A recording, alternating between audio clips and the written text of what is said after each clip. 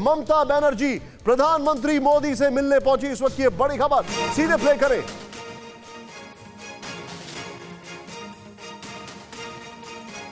GST भुगतान आपदा मुआवजे की कर सकती है मांग।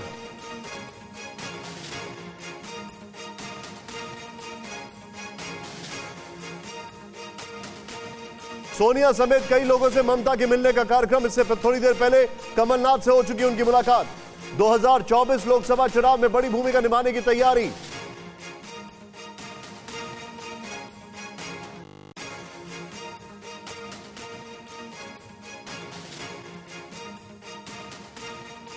और सीधे में चलूँगा। सीधे में चलूँगा मेरे सहयोगी मनीषा मेरे साथ है मनीष। बंगाल जीतने के बाद प्रधानमंत्री से पहली मुलाकात। क्या है एजेंडे पर? जी हाँ बिल्कुल निशान देखिए, अपने माथे पर जीत का सेहरा बांधी ममता बनर्जी। अब दिल्ली आई हैं और इसी क्रम में यूँ तो बंगाल के चीफ मिनिस्टर और प्रधानमंत्री की अगर केवल मुलाकात होती तो हम सिर्फ़ कहते कि एक शिष्टाचार भेंट है जिसमें राज्य सरकार को सहायता के लिए केंद्र सरकार से मदद मांगी जाएगी। प्रधानमंत्री भी राज्य को हर संभव सहायता देने का आश्वासन देंगे। लेकिन यहाँ पर ममता बनर्जी की और प्रधानमंत्री नरेंद्र मोदी की मुलाकात के राजनीतिक मायने बहुत ज़्यादा हैं क्योंकि ममता बनर्जी राजनीतिक मायने हैं प्रोफेसर कपिल कुमार हमारे साथ हैं जो कि इन विषयों पर अच्छी राय रखते हैं कई बार बोलते हैं काफ़ी अच्छे से मैं उनके पास आ रहा हूँ लेकिन उससे पहले ममता बनर्जी की मुलाकात। ये देखें यहाँ पर। हमारे पास जो जानकारी है, दिल्ली दौरे पर दीदी, मिशन 2024 का आगाज़। तीसरी बार सीएम बनने के बाद पहली बार ममता बनर्जी की पीएम मोदी से मुलाकात है। नेक्स्ट चेंज करें इसको यहाँ पर। बड़ा तेज़ी से। जीएसटी के बकाया भुगतान, वैक्सीन की मांग और आपदा के लिए मुआवजे की मांग पर बात हो सकती है प्रधानमंत्री जी से। नेक्स्ट चेंज करें इसको यहाँ पर। ममता आगामी लोकसभा चुनाव से पहले राष्ट्रीय स्तर पर बड़ी भूमिका निभाने की तैयारी में है। ममता के दिल्ली दौरे को राष्ट्रीय राजनीति में उनके कद बढ़ाने की कोशिश के तौर पर देखा जा रहा है। ममता खुद को तीसरे मोर्चे के चेहरे के रूप में देखना चाहती है। बटे हुए विपक्ष को बीजेपी के खिलाफ एकजुट करने के लिए कई नेताओं से मुलाकात का कार्यक्रम है। ममता बुधवार को राष्ट्रपति और सोनिया गांधी से भी मिल सकती है।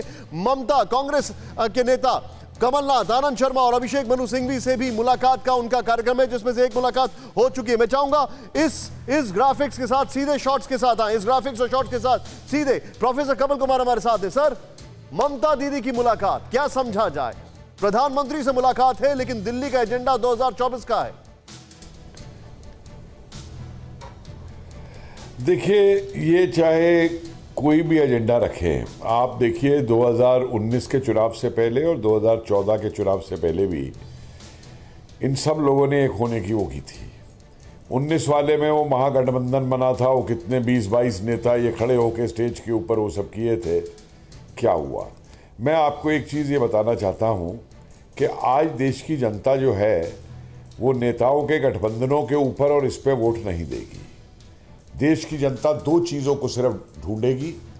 पहली चीज़, देश की सुरक्षा, और दूसरी चीज़, विकास, और उस विकास के अंदर उसके लिए रोज़गार, उसकी इंडस्ट्री, उसकी खेती, इन चीज़ों पे क्या कार्य हो रहे हैं। देश की जनता इन चीज़ों को चुनेगी।